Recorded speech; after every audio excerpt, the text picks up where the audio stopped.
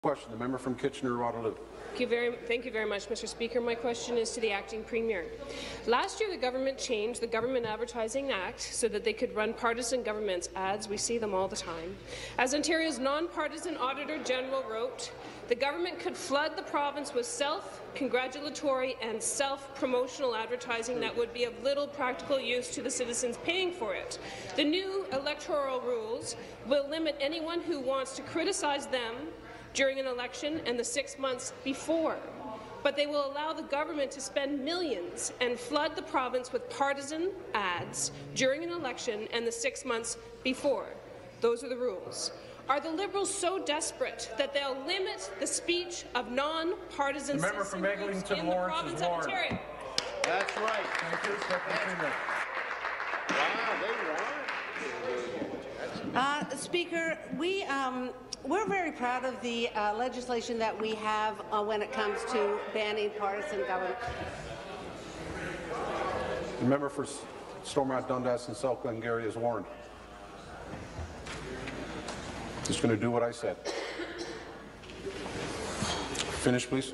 One of the first things we did when we were elected in 2003, Speaker, was to actually bring in legislation to ban partisan ads because we had seen such a blatant misuse of taxpayers' money from the previous government, Speaker.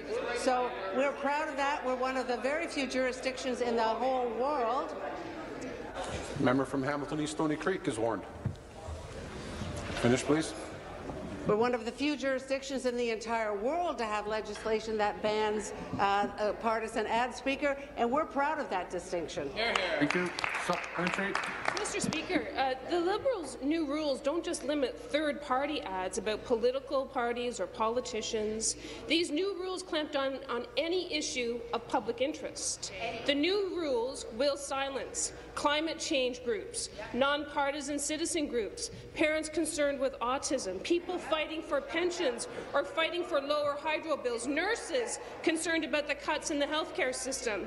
All will have their right to free speech limited. At the same time as the government can flood the airwaves and bus shelters and newspaper ad pages with partisan government advertising.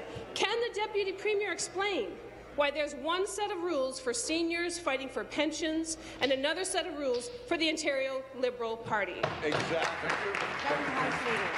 Government House Leader. Well, thank you very much, Speaker. It is clearly obvious now that the NDP do not want to reform election financing rule in the province of Ontario. From the beginning, Speaker, from the beginning, Speaker, they are trying to slow down and stall the process.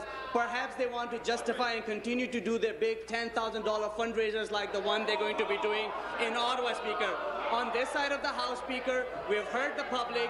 We want to make sure that we have a system that is transparent and accountable, and that is why, Speaker, we want to, we have tabled this bill and we want to go and listen to Ontarians. And I hope that the members opposite on the NDP side will agree to a unanimous consent motion, Speaker, so that we can start that public hearing process now, so that we can start listening to Ontarians now, Speaker, and through the summer. I ask the NDP, are they going to support the unanimous consent motion or not?